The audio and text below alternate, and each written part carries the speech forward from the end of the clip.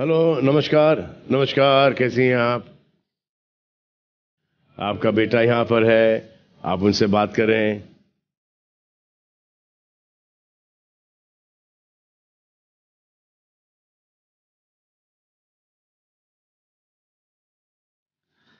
hello वेलविश